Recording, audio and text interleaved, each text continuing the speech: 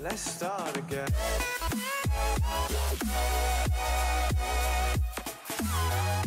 Moin, ihr Zwerster und Zwersterinnen und herzlich willkommen zu einem weiteren Part von Shakes and Fidget. Schön, dass ihr wieder eingeschaltet habt. Meine lieben Freunde, es hat sich eine Menge, Menge, Menge getan bei Shakes and Fidget. Ich habe nämlich die ganze Zeit seit dem letzten Video ordentlich weitergezockt.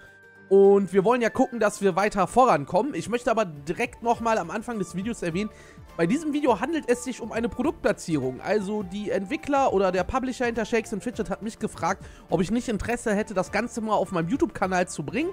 Und ich habe mir gedacht, weil ich das Spiel schon echt ziemlich lange kenne, es gibt das ja auch schon ziemlich lange, ähm, Wäre auf jeden Fall nichts Verkehrtes und mir macht das super viel Spaß. Und wie viel Spaß mir das ganze Game macht, das werde ich euch jetzt mal zeigen. Wir haben nämlich unter anderem unsere Gilde ausgebaut, ja. Da sind jetzt mittlerweile 35 Leute drin. Und es wird jetzt bestimmt sicher den einen oder anderen geben, der sagt, boah, ich hätte auch Bock in die Gilde von Kevin. Kann ich euch schon mal sagen, da werdet ihr große Chancen haben in Kürze. Denn ich werde in Kürze auch aussortieren aus der Gilde. Wir haben das jetzt so gemacht, dass wir immer zu Anf zum Anfang einer jeden Woche einen Screenshot machen und das hier sind zum Beispiel so Kandidaten, wenn die jetzt nicht in Kürze hochkommen mit ihrem Level, werden die wahrscheinlich relativ zeitnah rausfliegen.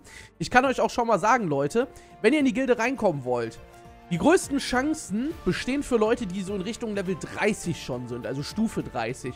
Ich bin mittlerweile Stufe 53, bin auch fleißig weiter am Leveln. Ich mache jeden Tag hier in der Taverne meine ganzen Quests und so. Da werden wir jetzt auch gleich drauf eingehen. Und ich habe auch schon mittlerweile ordentlich Dungeons gemacht. Einen haben wir hier komplett fertig.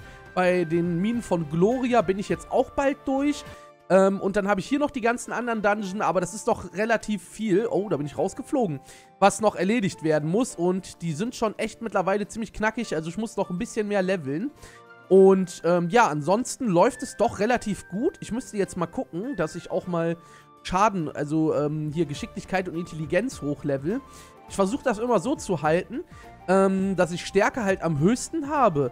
Und auf Ausdauer und Glück versuche ich immer so circa 50% von Stärke zu haben. Das heißt, Glück müsste ich eigentlich auf 550 bringen.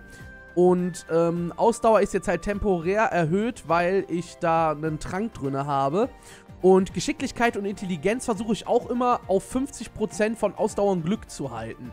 Das ist eine relativ gute Verteilung, mit der kann man echt gut äh, schon was reißen. Und ähm, ja, ich komme damit eigentlich relativ gut klar. So, und dann würde ich sagen, gehen wir einfach mal in die Taverne, weil es gibt noch ein paar Aufgaben, die können erledigt werden. Ich habe sogar ein paar von diesen Uhren, aber ich würde sagen, für eine 5-Minuten-Quest setze ich die auf gar keinen Fall ein. Ich gehe immer nach den Sachen, wo ich ähm, die meisten Erfahrungen bekomme. Und hier sieht man schon zum Beispiel inklusive Bonus 42% für Lehrmeistergilde, 22% fürs Sammelalbum. Also der Lehrmeister in der Gilde, der gibt natürlich auch nochmal extra XP, das ist auch nochmal eine geile Sache. Den müssen wir auf jeden Fall auch mal weiter hochleveln, ähm, weil der erhöht halt einfach die XP, die man bekommt, ne? Und wir haben jetzt schon ziemlich krass das mit der Gilde hier gepusht. Das kostet mittlerweile ordentlich Pilze. Ich habe ja von dem Publisher ein paar Pilze zur Verfügung gestellt bekommen. Ich habe auch schon ordentlich in die Gilde rein äh, gespendet. Gestern alleine habe ich ein paar tausend Gold in die Gildenbank geballert. Ich glaube, also wenn ich das alles zusammenzähle, was ich gestern in die Gildenbank gespendet habe, waren das locker 5.000, 6.000 Gold. Und ähm, gestern habe ich auch nochmal über 100 Pilze reingehauen, damit möglichst viele von euch Platz bei uns in der Gilde finden. Also was wir auf jeden Fall suchen, sind Leute, die bereit sind, erstmal richtig viel Gold in die Gildenbank zu zahlen, weil so können wir hier diese ganzen Sachen erhöhen. Der Goldbonus, der gilt nämlich auch für die Quests, ja. Und wenn wir das schön hochpushen, ähm, dann hab, haben wir alle was davon am Ende, ne? Also als allererstes versuchen wir halt jetzt das hier ganz komplett auszubauen, das Quartier, weil dann können wir 50 Leute drin haben und wenn die alle, alle 50 Leute ziemlich großzügig sind, dann werden wir relativ schnell hier diesen ganzen Krempel auch ausgebaut haben, Lehrmeister und äh, Goldschatz. Und dann wirkt sich das für euch ja auch noch besser aus, ne? Lehrmeister machen wir zuerst, damit ihr schneller Level steigt, weil wenn ihr schneller Level steigt, kriegt ihr automatisch ein höheres Level und verdient dann auch automatisch mehr Gold pro Quest. Ne? Und deswegen skillen wir das mit dem Gold zuletzt hoch. Aber jetzt wisst ihr schon mal so, wie die Philosophie der Gilde ist. Wir könnten auch schon raiden. Wir müssen nur jetzt einmal dafür 105.000 Gold zusammensammeln. Also wie gesagt, wir suchen wirklich Leute, die Bock drauf haben, ähm, ja, eine geile Gilde mit uns auf die Beine zu stellen. Und da ist jetzt Platz für 36 Member, 35 sind gerade drinne. Und deswegen würde ich sagen, wir gucken mal. Also der Kandidat hier, ich weiß nicht, wer es ist, aber... Also der Name, ne? Kollege, wirklich. So, Hüst Games, hier, kann ich zwei Tage vielleicht mal nicht spenden, ich muss was ausbauen. Wäre okay, wenn du sagst, dass ihr das Gold braucht. Sagt mir einfach Bescheid. Ja gut, das ist ja nicht schlimm, wenn jemand mal zwei Tage Pause macht, ne, mit den Spenden, das ist kein Problem. So, hallo, ich bin ein Abo von Gamerstime. Dürfte ich bitte in die... Ja, der ist Level 14. Das ist halt relativ niedrig, ne? Level 14 schafft man fast an einem Tag. Also die Kandidaten, die hier sind, sind fast alle ziemlich niedrig. Ähm, er hier ist Level 21, also Stufe 21. Dem gebe ich eine Chance. Der darf in die Gilde. So, dann weiten wir den mal hier. Und dann müssen wir mal ganz kurz unsere ganze Post wieder löschen, denn das ist auch so eine Sache, da muss ich immer drauf achten. Ich darf maximal 100 Nachrichten haben.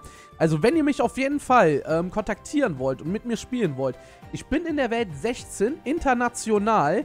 Ich heiße einfach Gamers Time. Da könnt ihr mich ganz leicht in der Ehrenhalle finden. Das ist auch richtig, richtig easy. Kann ich euch auch gleich einmal ganz kurz zeigen, wie das Ganze funktioniert. wenn ihr mir eine Nachricht schreiben wollt, weil ihr in die Gilde möchtet. Also es findet jetzt in Kürze die erste richtig große Aussortierung bei uns statt, ja. Der hier ist zwei Tage schon offline, der Möhre. Ähm, der hat sich auch abgemeldet, aber trotzdem, mit dem werden wir zum Beispiel auch mal reden müssen, ne?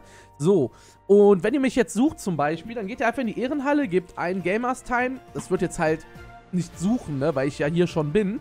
Und dann findet ihr mich hier, ne, der äh, Gamers Time in der Gilde Gamers Time. Und dann könnt ihr einfach, hier oben ist dann so ein Plus, klickt ihr drauf und dann könnt ihr mir da eine Nachricht schreiben. Und wenn ihr dann Interesse auf, also an einem Gildenplatz habt, könnt ihr euch so melden. Wichtig ist, wie gesagt, ihr solltet in Richtung Stufe 30 gehen. Also mit Stufe 10 braucht mich keiner anschreiben, ob er in die Gilde kann. Da meine ich nicht böse Leute, aber das macht keinen Sinn. Ne? Wir wollen ja vorwärts kommen mit der Gilde. Und da bringt mir nichts, wenn ich die immer wieder mit Lowies fülle, die dann irgendwie nach zwei Tagen inaktiv sind. Also wer Bock hat mitzumachen, der sollte das schon ernst meinen. Und ähm, ja, ich möchte nur noch mal sagen, nur weil jetzt kein Video kam, ähm, heißt das ja nicht, dass ich inaktiv in dem Spiel bin. Also man sieht ja, dass ich alles andere als inaktiv bin. Ähm, Oh, die Gilde verlassen will ich nicht. Also ich habe hier schon ordentlich gefarmt und ich kann euch auch mal zeigen. Hier, so sieht mein Equipment momentan aus. Ich habe sogar so das ein oder andere Epic-Item hier, zum Beispiel nämlich dieses Schild. Das habe ich in einem Dungeon bekommen. Genauso auch diesen Osterring hier. Ziemlich krasses Teil. Alleine der würde schon 1144 Gold geben. Das Schild zum Beispiel 1044. Ja gut, das ist jetzt nicht so gut. Ähm, der Gürtel ist schon richtig krass, finde ich. Also echt heftig. Und dann haben wir hier noch so eine äh, Halskette. Ja, da müssen wir auf jeden Fall gucken, dass wir da noch ein bisschen besseren Stuff kriegen. Ja, und wie gesagt halt, also Welt 16 international, da könnt ihr einfach ähm, draufkommen und euch dann bei mir melden. Und ich würde sagen, wir gucken mal eben bei mir in der Festung vorbei, denn hier hat sich auch einiges getan, wie man sieht. Also ich bin hier fleißig am Ausbauen und ähm, ja, die Edelsteinmine braucht jetzt noch knapp anderthalb Stunden. Was auch wichtig ist, zum Beispiel die Ritterhalle.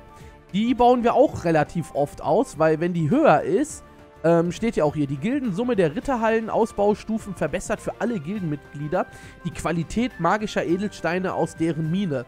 Das heißt also, man kriegt deutlich bessere Edelsteine, ne? Und deswegen, wie gesagt, halt, je mehr Leute in der Gilde sind, umso krasser ist das alles halt natürlich, ne?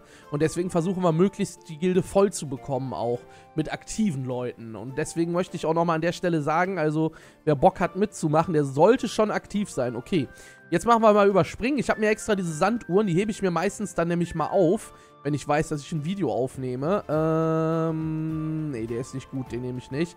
So, zack, dann überspringen wir die auch hier. So, dann können wir nämlich... Oh, oi, was ist denn hier los, ey? Heute fliege ich ziemlich oft raus. Das kann passieren. Das kann mal passieren. So, und dann machen wir die Quest hier noch. Ne, und da sammelt sich halt auch ordentlich Gold an, wenn man solche Quests dann macht. So, dann trinken wir jetzt wieder Abenteuerlust voll und dann können wir wieder weitermachen hier im Geschehen. Oh, nice. Da gibt's, eieiei, 25.000 XP für eine Quest. Das ist gut. Das ist richtig gut. Damit kann ich dann echt schön hochleveln. Ja, jetzt kriege ich halt weniger XP. Ähm... Ja, dann machen wir die Quest. Die dauert jetzt 5 Minuten. Die gibt mir aber auch knapp 200 Gold. Das ist dann schon mal nicht schlecht. Und dann lassen wir die einfach durchlaufen, weil eine 5-Minuten-Quest, die tue ich nicht überspringen. Ich mache das meistens immer bei so 10-Minuten-Quests. Ich würde auch noch gerne Glücksrad spielen. Das habe ich heute aber auch schon voll. Ähm, Deswegen kann ich das auch nicht mehr machen. Aber bald, wenn ich Level 70 bin, kann ich endlich unter Pets. Ich weiß nicht, äh, was die bringen, die Pets, oder Level 75. Und ich weiß, es gibt auch später noch was anderes, wo man hin kann. Nämlich, das befindet sich in der Taverne. Ähm, und es gibt ja auch noch den Schmied, ne? Es gibt ja auch noch hier so einen Schmied. Den kann ich im Moment auch noch nicht benutzen. Ähm, keine Ahnung, worunter man den findet. Oder war der, war der, wenn man in die Festung gegangen ist hier? Da müssen wir mal ganz kurz schauen. Gilde, Waffenladen, Zauberladen, Arena, Ehrenhalle, Pilzdealer, Stadtwache. Das ist das, das ist das. Gilde. Was haben wir denn hier? Wohlhabende Grüße. Unsere zahlungskräftigsten Kunden bieten wir das exklusive rundum Sinn sinnlos Paket. Die vergoldete Profilseite ohne jeglichen Nutzwert, dafür ungemein teuer. Zeigen Sie dem Fußvolk, wie reich man sich fühlt, wenn man sich mit etwas Gold umgibt. Ach, da kriegst du einen goldenen Rahmen hier oben drum. Ja, nee, für 1000 Pilze ist mir dann, dann doch eine etwas heftige Investition gerade. Ähm, ich brauche die Pilze eher für andere wichtige Dinge. Wenn ich irgendwann mal keinen Sinn mehr da drin sehe, die irgendwo auszugeben anderweitig, dann kann ich das ja überlegen zu machen. Dann kann ich mir diesen Bonzenrahmen kaufen. Ähm, ich habe, glaube ich, auch noch nie jemand gesehen, der diesen Bonzenrahmen hat. Auch bei uns in der Gilde hat den auch noch keiner. Mal abwarten. Vielleicht, finden, vielleicht, vielleicht ist irgendwann einer der Erste. Ich weiß es nicht. Werden wir sehen. Ähm, ich weiß gar nicht. Es gab einen Schmied, aber keine Ahnung mehr, wie man zu dem hinkam. Ich glaube aber, dass ich im Moment noch nicht das Level habe, um zu dem hinzugehen. Ähm, ja. Ansonsten gibt es eigentlich nichts Neues, was ich euch noch zeigen könnte in dem Video. Also ich glaube, einen Dungeon werde ich heute leider nicht schaffen. Da werden wir mal gucken, dass ich dann vielleicht im nächsten Part, wird auf jeden Fall den nächsten Part noch geben, dass wir da versuchen, nochmal weiterzukommen. Das wäre natürlich eine richtig schöne Sache. Oh, ähm, okay. Ja, und wie gesagt halt, also wenn ihr Interesse habt, in die Gilde zu kommen, schreibt mir einfach in-game eine Nachricht. Dann können wir das regeln. Das ist gar kein Thema. Und können schauen, ähm, ja, dass wir hier einen Platz für euch haben. Aber wie gesagt, ihr solltet schon wirklich Stufe 30 so in die Richtung gehen. Weil sonst macht das halt alles keinen Sinn. Ne? Wir haben ja echt einige Leute, die geben ordentlich Gas. Hier Todesklinger zum Beispiel. Der ist auch richtig schön am Leveln. Also solche Leute oder der Kronex. Ähm, der war am Anfang einer der langsamsten und jetzt ist der richtig abgegangen. Richtig coole Sache auf jeden Fall. Und solche Leute können wir gut gebrauchen, die richtig Gas geben. Hier meine Freundin zum Beispiel, die ähm, levelt auch, die macht jeden Tag ihren Stuff und so, ne? Das ist eine Sache, man kann das halt alles cool nebenbei erledigen. Und ich kann euch auch sagen, es gibt sogar eine App fürs Handy oder für Tablet, je nachdem, was ihr von beiden nutzen wollt. Ich weiß, dass ich hier ziemlich viele Handy-Zuschauer habe. Also ihr könnt euch ganz easy auf dem Handy so eine App runterziehen und dann macht ihr einfach dort, stellt ihr die Quests ein und das ist so schnell am Tag alles erledigt, ne? Das ist eine Sache, die kann man immer mal nebenbei machen. Meistens, wenn ich Videos schneide, tue ich auch nebenbei Shakes and Fidget, lasse ich laufen auf einem anderen Bildschirm dann.